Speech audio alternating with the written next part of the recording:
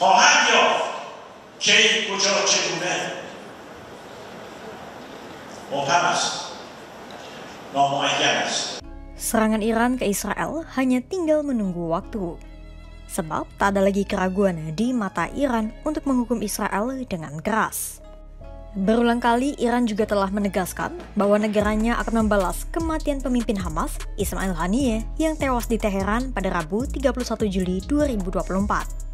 Meski Israel tak mengakui keterlibatan insiden itu, Israel juga tak menyangkal bahwa mereka dalang di balik serangan terhadap Haniyeh. Dunia, khususnya Timur Tengah, saat ini dilanda kekhawatiran akan langkah Iran menyerang Israel yang bisa memantik eskalasi peperangan di regional. Untuk mengetahui ke mana arah balasan yang diberikan Iran kepada Israel, simak terus video ini.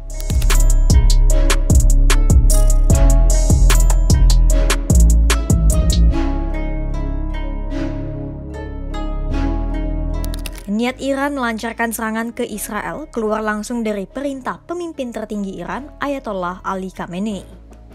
Pada Jumat 9 Agustus 2024, Wakil Komandan Garda Revolusi Iran atau IRGC, Ali Fadavi memastikan militer Iran akan melaksanakan perintah Ayatollah.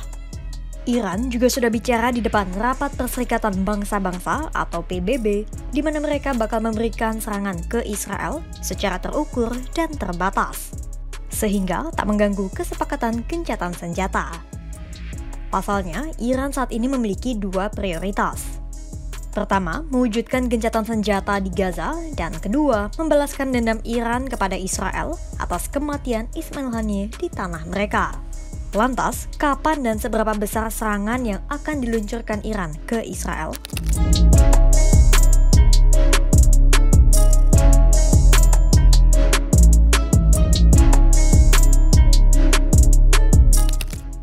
Hari pembalasan Iran masih menjadi misteri.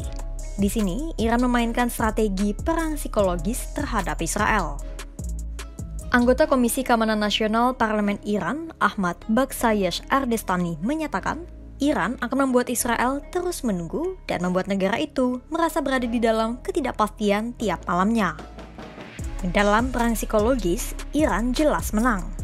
Begitu yang dikatakan oleh pakar Iran di Universitas Tel Aviv, David Menashri.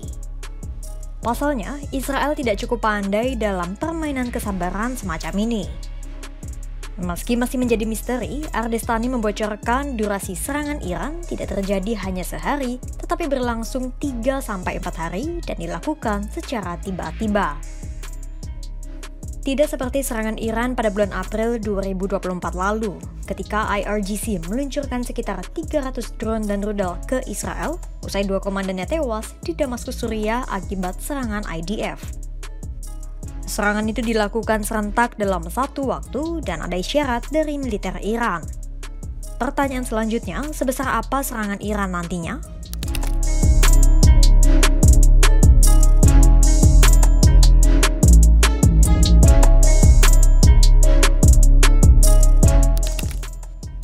Gelagat Amerika Serikat dalam memperkuat postur keamanannya di Timur Tengah seolah mengindikasikan bahwa serangan Israel kali ini sama sekali tak biasa. Pasalnya, sebanyak 12 kapal perang dan skuadron jet tempur Amerika Serikat kini telah bersiaga di Timur Tengah usai Iran menyatakan niatnya menghukum Israel. Tak hanya itu, militer Iran sendiri telah melakukan penambahan sejumlah sistem militer baru ke Angkatan Laut IRGC pada Jumat 9 Agustus 2024. Sistem baru itu terdiri atas rudal jarak jauh, jarak menengah, drone tempur, drone intai, dan unit perang elektronik. Total seluruh rudal dan drone itu mencapai 2.654 buah.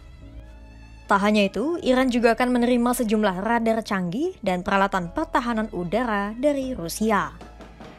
Transfer senjata dari Rusia ke Iran itu terjadi usai Teheran mengirim sejumlah rudal ke Moskwa untuk mendukung negara itu berperang dengan Ukraina. Hawa-hawa pembalasan kepada Israel dan sekutunya juga telah terendus dengan berbagai serangan yang dilakukan oleh proksi Iran. Di barisan Hizbullah, kelompok itu telah meluncurkan berbagai serangan sporadis usai kematian komandan mereka Fuad Syukur dan Haniyeh yang berdekatan. Sementara di Suriah Timur, pangkalan Amerika Serikat telah menerima serangan dari kelompok yang diduga bersekutu dengan Iran. Ada dua kemungkinan skema serangan balasan ke Iran. Pertama, Iran akan melancarkan serangan sendirian. Dan kedua, Iran akan mengerahkan proksi-proksinya yaitu Hamas, Hizbullah, Houthi, dan sejumlah kelompok di Irak dan Suriah untuk melancarkan serangan.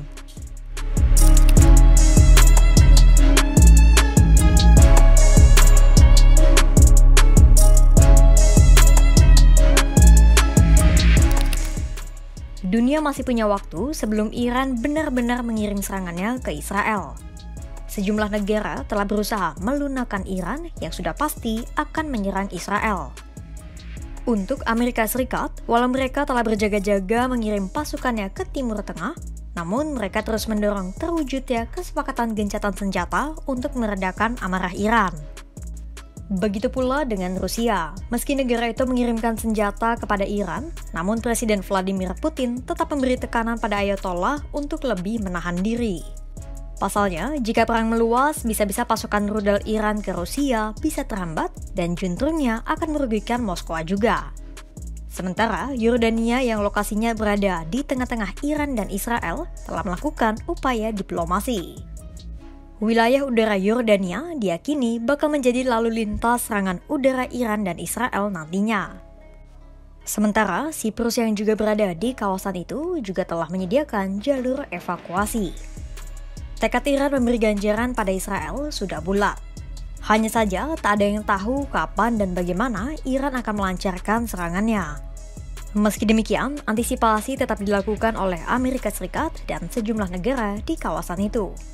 Pasalnya, hawa-hawa pembalasan pun telah terasa dengan terjadinya sejumlah perubahan poster keamanan Iran, ditambah dengan gelombang kecil serangan-serangan dari proksi Iran.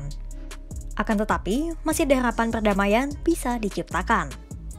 Untuk itu, simak terus perkembangannya hanya di kanal YouTube Kompas.com.